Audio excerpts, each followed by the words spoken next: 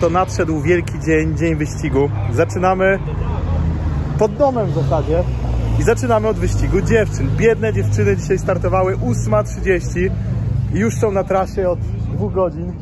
Panowie jeszcze nie ruszyli tak naprawdę, więc chcemy teraz podopingować dziewczynom stawę lot, a potem jedziemy dalej na przynajmniej dwa miejsca trasy wyścigu mężczyzn. No jak widać, no zainteresowanie niestety wyścigiem damskim jest tutaj takie sobie. Mam nadzieję, że przynajmniej na tych sztajfach, które dziewczyny pokonują, jest więcej osób. Ale dziewczyny rozciągnięta grupa niesamowicie, jak na w sumie najgorsze przed nimi. Ob. Mamy nawet swój wkład w organizację wyścigu. Jest. Maciek pomaga ustawiać trasę. Dzisiejszy dzień jest ogólnie bardzo ciekawy, ponieważ kibicowanie jest zupełnie inne niż to, do czego Was przyzwyczailiśmy. Bo jak pewnie pamiętacie z Giro czy z Tour de France, tam najczęściej po prostu albo szliśmy, albo jechaliśmy rowerem na jakąś jedną górę i tam była całodzienna impreza z kibicowaniem. A tutaj przez to, że kolarze jeżdżą bocznymi drogami, a jest stosunkowo dużo autostrad czy dróg ekspresowych, które są przejezdne dalej, no to można sobie tak naprawdę stanąć w dwóch, trzech fajnych miejscach w ciągu dnia. No i kibicować razem z Belgami, tudzież ludźmi z całego świata w kilku miejscach. Przede wszystkim oczywiście na tych najbardziej stromych podjazdach. Jeżeli nie wiecie czemu kibicuje się na podjazdach, zachęcam do obejrzenia naszych wcześniejszych filmów o wyścigach kolarskich. Najprościej rzecz ujmując, po prostu chodzi o to, żeby kolarze się męczyli, żeby jechali wolno i żeby być z nimi dłużej. Jak staniecie na zjeździe albo na płaskim, to peleton wam przejedzie w 25 sekund i tyle będzie z kibicowania. Tutaj chodzi o kultowe miejsca, gdzie można stanąć i gdzie można dłużej pokibicować. A dzięki temu, że właśnie tutaj możemy być w kilku miejscach, no to na spokojnie sobie będziemy zmieniać lokalizację. Właśnie celujemy na początek Świętego Rocha, czyli piękną sztajfę, którą jechaliśmy w dniu wczorajszym.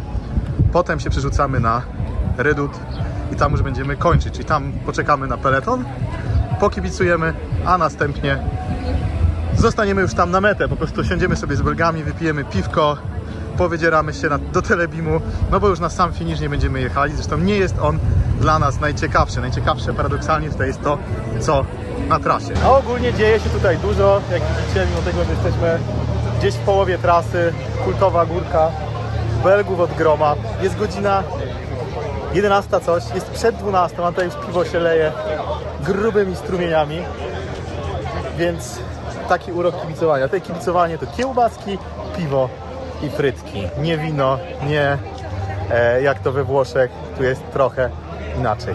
Pozycja zajęta, macie jej w internecie, widać na tym obrazku. Tam jest najbardziej stromy fragment, a my stajemy tutaj, bo to jest moim zdaniem idealne zdjęcie na fotkę. Ogólnie rzecz biorąc chcę złapać właśnie kolarzy.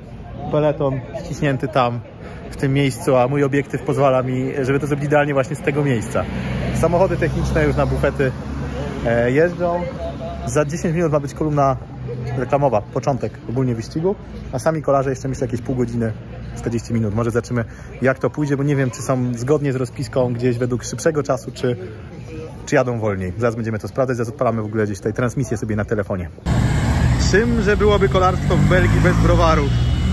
Przed wyścigiem jedzie kład sprzedając browary. Jest i kolumna reklamowa z gadżetami. Jak na Tour de France, tylko 20 razy mniejsza. Kolumna reklamowa przejechała. Belgowie, cho, Belgowie chowają się do domów już. Zabrali fanty. Nie no, browarki są. Jeszcze ludzie wychodzą. Czap... Zbierają też jest na nic, nie? Jeszcze No, będzie więcej no, no. Ale dystrybucja browarów jest najlepsza. Ale miejscowa jest super. To jest czte- ludzie z czteropakami.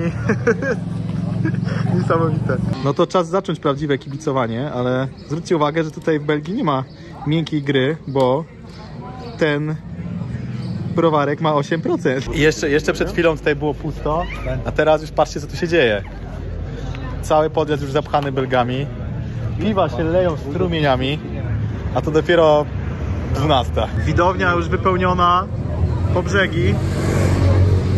Zaraz, zaraz się zacznie.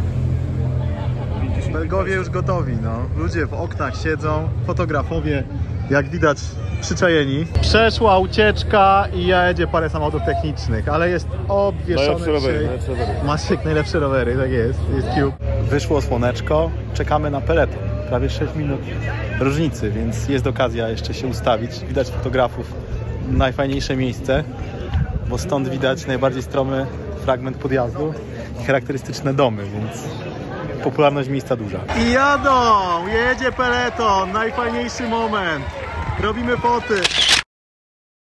Karawana przejeżdża, ale jeszcze liczymy, że się ktoś trafi, kto gdzieś tam odpadł. Trzeba kibicować wszystkim do końca. Teraz tłum ciągnie znowu do piwopoju, a my schodzimy na dół, lecimy do samochodu i śmigamy na kolejną miejscówkę. Jestem ciekawy, czy dużo osób stąd też gdzieś jedzie dalej, czy raczej po prostu schodzą w dół miejscowości, żeby świętować ciąg dalszy niedzieli, już może z kolarstwem bardziej w telewizji. Jak myślisz Maciej, jest w ogóle sens wsiadać z samochodu? Nie ma sensu. Czy kibicujemy stąd? Bo jesteśmy w takim miejscu, że Laredut czeka. No to idziemy dalej. Czas na kolejną ściankę. Idziemy szukać optymalnego miejsca na Laredut do kibicowania. Musi być stromo, musi być dużo ludzi najlepiej, żeby nie było barierek, ale z tym może być problem. Obawiam się, że tutaj zaraz się zaczynają barierki, na najbardziej stromej części cały czas są barierki. A barierki, Maćku, to co? To zło. Na barierkach nie jest fajnie. No ale cóż, idziemy razem z tłumami pod górę. Wszyscy sobie popijają piwko. Kamperowcy już tutaj rozbici od dwóch dni przynajmniej. To są strategiczne miejsca na kampera, więc tutaj co lepsze już są zajęte przynajmniej od dwóch dni. Impreza trwa, ludzie się tutaj zbierają. Tutaj możecie sobie kupić pamiątki, koszulkę mistrza świata, jak wiadomo. Szybki. Patrz jeszcze ten, może ciekawe czy jeszcze są koszulki Michała Mistrza.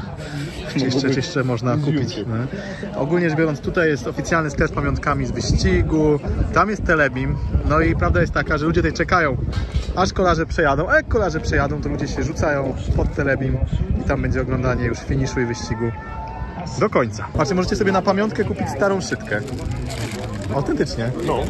To taką dobrą, Veloflexa. Czyjaś tam, Nie taką starą nawet w sumie, bo przecież... No. O, To ręcznie robione. masz w sumie nie są takie stare nawet, bo patrz, masz tego, masz P0 Pirelli. No. Czy to ma max 3 lat, nie, 2 lata nawet, bo nie robili wcześniej szytek. Z wysiłku jakoś któregoś zostawiono, nie? A, to jest taka pamiątka, nigdy nie to jeździł.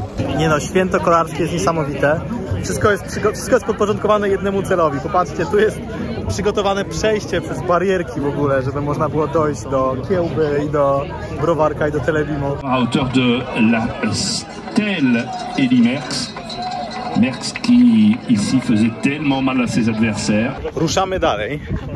Obejrzeliśmy kawałek i razem z resztą ludzi zmierzamy znaleźć sobie fajne miejsce do kibicowania. Natomiast niestety barierki są już do końca, więc będzie, będzie kibicowanie za barierek. No. Kultura przede wszystkim, a potem wracamy na dół na Telebim, żeby oglądać finish i patrzeć jak Belgowie się cieszą z, miejmy nadzieję, wygrywającego, bo nie no, my byśmy chcieli, żeby Michał wygrał, prawda? Ale Belgowie pewnie bardziej by chcieli, żeby właśnie pewnie Belgowie by pewnie woleli, żeby ktoś inny wygrał, więc no cóż, musimy to jakoś pogodzić. Kibice gotowi. Ostatni kilometr. Trzeba znaleźć jakieś miejsce, bo tu już będzie gęsto. Dawaj!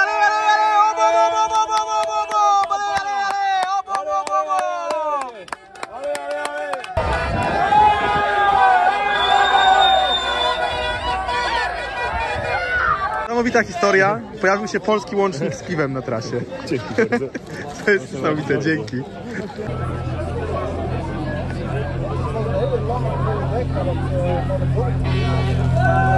Jest i helikopter, czyli ucieczka zaraz będzie. Robimy foteczki i szykujemy się na doping w peletonie.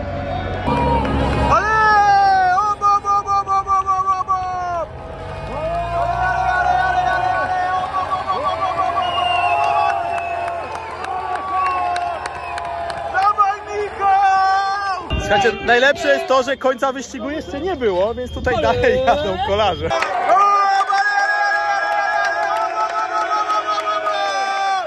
Kolarze przejechali, wracamy do na telebimie. Atmosfera jest napięta, Remko ucieka, Belgom się to nie podoba zdecydowanie.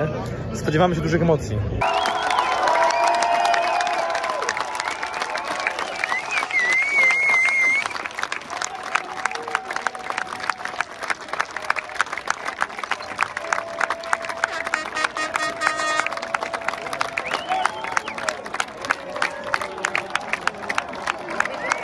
Żeby zrozumieć tę sytuację, trzeba tutaj być.